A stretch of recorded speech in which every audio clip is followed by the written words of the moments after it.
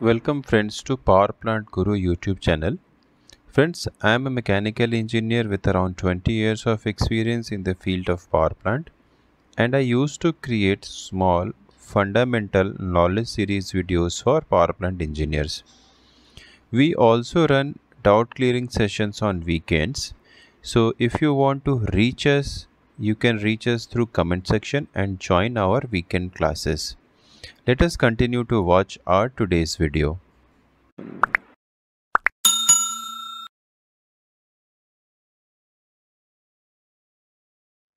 Hi friends, welcome to Power Plant Guru YouTube channel.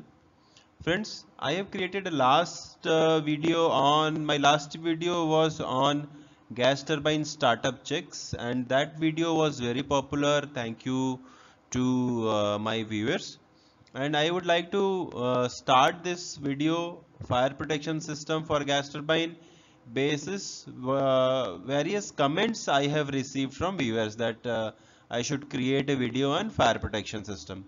So that we are doing in this uh, video. And one more thing I would like to say that we have started uh, a membership program on this channel. So uh, as initially in the previous slide I have shared that we run uh, this weekend classes. So if you want to join the class you can join our membership uh, plans wherein you may have the one-to-one -one video uh, call session as well for your doubt clearance. So let us go to understand the fire protection system in gas turbine.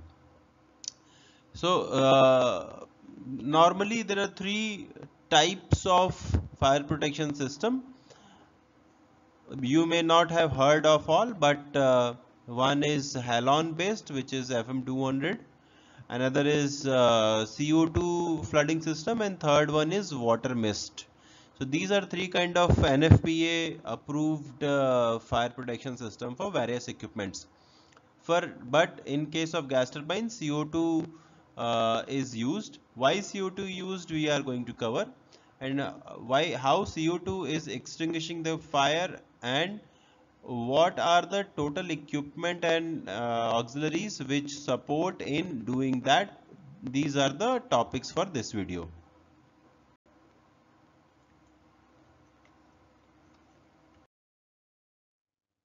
So there is a study which has shown there are different probabilities of fire in different compartment based on the risk so I am quoting a study from uh, Edison Electric Institute where there was a, an uh, understanding that 62% of the fire was involved for the turbine compartment.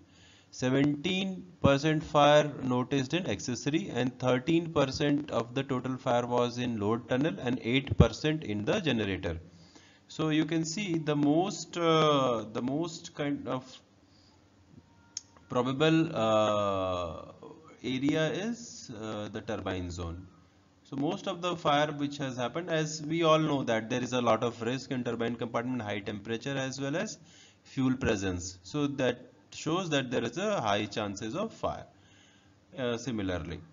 And now uh, in older machine halons were also used but uh, now carbon dioxide is predominantly used. Why carbon dioxide is used? Because carbon dioxide has an advantage over halon that halon if you release there is a uh, surface reaction with that kind of uh, gas was also there. So a lot of rusting and corrosion related uh, post impacts were seen where halon was used. So that is why uh, slowly this carbon dioxide was uh, the one uh, which gain more popularity so now uh, most of the th places you will see the CO2 flooding system is there as a fire extinguishing system. And uh, there will be different zones. What we have seen in this kind of category that uh, is normally uh, compartmentalized as different zones.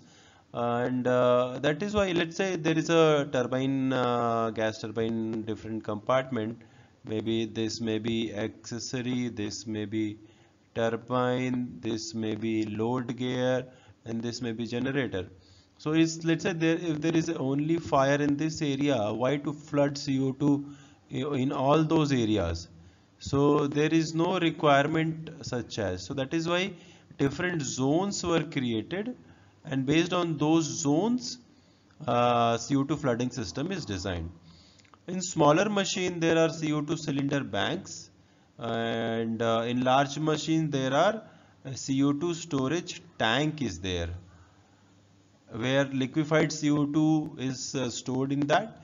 And based uh, uh on requirement from uh, requirement from turbine in case of any fire the different line for that uh, dedicated zone will be activated and the CO2 gas will be uh, liquefied CO2 will be converted into gas and uh, then uh, supplied to that particular zone. But let's say if there is any person available in that turbine for uh, taking any reading or taking any doing any inspection or checking uh, any other things as well. So for that there is an initial 30 seconds of warning so there will be hooters. There will be hooter in all compartment. And those hooter basically a nozzle kind of uh, thing uh, which uh, there also a CO2 supply is there. And CO2 blows in in that siren kind of thing and then uh, that siren kind of thing blows by CO2 there is a noise. And which is a alarm to the person whosoever is there inside must come out because in next 30 seconds there will be CO2 discharge. So as we know that there are different zones and different zones may have different volumes. Why volumes are being uh, asked here? So basically the funda of suppressing the fire is if you know if you know the fire triangle you might know that fire triangle. There is a need of oxygen there is a need of fuel and there is a need of heat which is in uh, any any source of heat. Then only the fire will happen. So this is what the fire triangle is called. So if you remove anything from this triangle then fire will be extinguished. So what is doing uh, CO2 flooding system is replacing O2 by CO2 as CO2 is heavier it will replace O2 it will push out A2 O2 and then the fire will be uh, extinguished.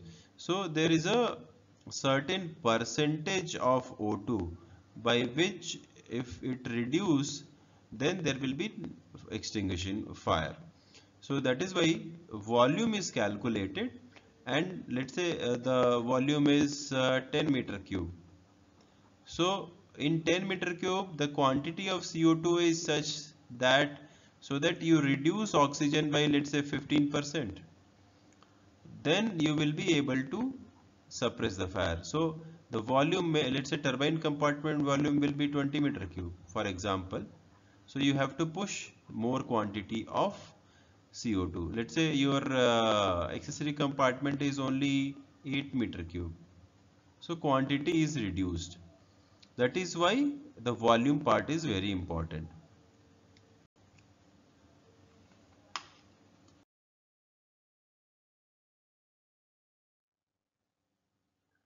So carbon dioxide is kind of cheap if you compare with halon and non-destructive also. As I was saying in the previous uh, uh, halon is also non-destructive but it has long-term corrosion and other uh, uh issues. But CO2 does not have any uh, that kind of issue.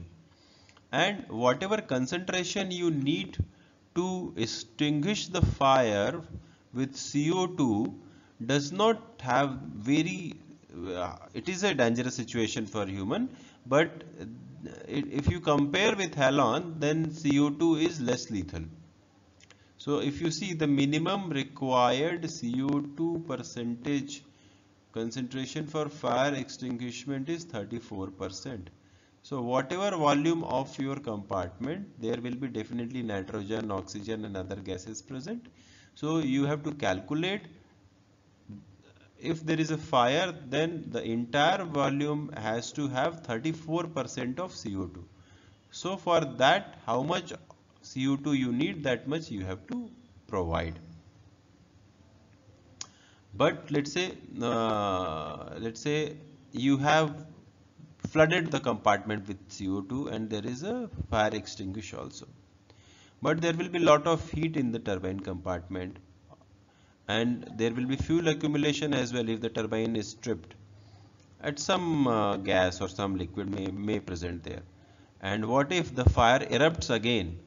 So that is why this this flooding system the one shot single discharge system is is given support by different means of your extended discharge extended discharge.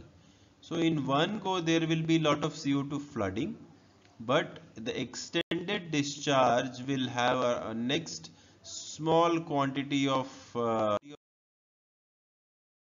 small quantity of CO2 will be coming through a small discharge pipe which is called a extended discharge. It will keep pushing small quantity of CO2 to maintain the CO2 concentration such that that there is no secondary combustion starts.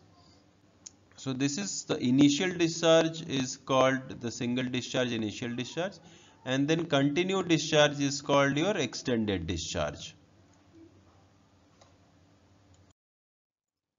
So I'm sure uh, many of you have already seen uh, this kind of uh, CO2 banks, cylinder banks, wherein you have different uh, zones where you have uh, this kind of discharge systems. There will be one pilot cylinder where if that pilot cylinder uh, is discharged, then it will automatically evacuate all other cylinders in bank. So this kind of system is available in frame 6 or uh, frame uh, 5 up to my knowledge.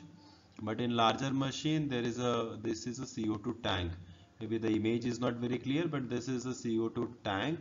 And this tank uh, is uh, you flooded with CO2 stored uh, uh, liquid CO2 and what I remember with my experience uh, that in frame 9 machine it was around uh, 6000 kgs or so.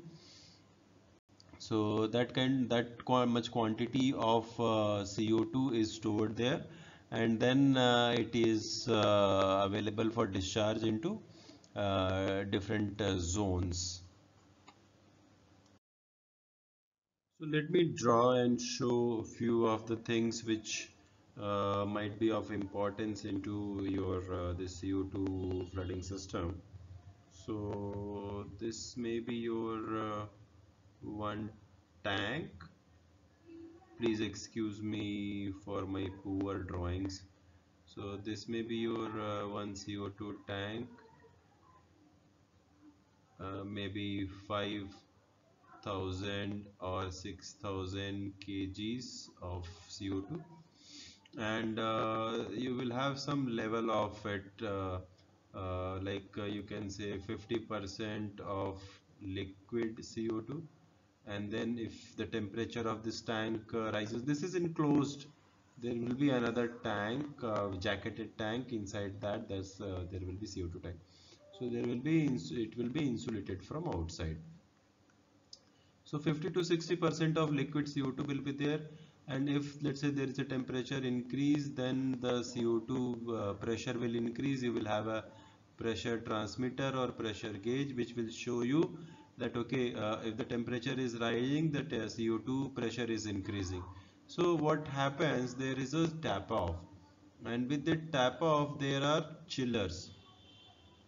Chillers which kind of uh, take that CO2 and put that again into system uh, just to make that uh, the temperature uh, are uh, in check and you have a proper liquid to and gas quantity so that you have that much quantity. Otherwise if the temperature will be high the pressure will be increasing and then you may not have this much quantity stored. So that it liquefied state has to be there so this is uh, used by chiller. There is another system of evaporator which is uh, not essentially used uh, to increase the temperature which is not uh, really required in uh, and then you have your uh, what we call safety valve just to say as you have safety device. And then uh, you have your main piping which is uh, going out from this and there will be a main valve. Main uh, ball valve will be there uh, which will have your limit switch which gives a signal to your turbine control panel uh, mark 6 saying that okay uh, whether my this valve if it is open then only your healthy signal is there. Otherwise there is no healthy signal on that. So this valve check uh, limit switch is there and uh, normally what happens if people go to turbine compartment for checking anything they normally do it offline and then go and then again come back and uh, normalize the system. This kind of practice is there. And from here it goes to different zones. Uh, I spoke about different zones in previous uh, slides. So let's say we have uh, four zones here. So zone let's say you have four zones. So each zone uh, let's say zone 1 zone 1 zone 1 will have three lines. 1 2 and 3 so first line is for your horn or uh, a hooter which is a warning alarm alert basically 30 seconds. And then there will be a second line which is your initial discharge. This is one time. And third line will be your extended discharge so if you see that uh, go into turbine compartment and uh, or any compartment any zone you go and see you can identify those by line sizes. So initial discharge will be some biggest size then the extended and the horn will be very small uh, kind of uh, size. So all these uh, kind of three systems will be available in each your uh, zone. If there are four zones then then for all zones will have three this uh, kind of lines. And before that there will be this uh, this horn line or uh,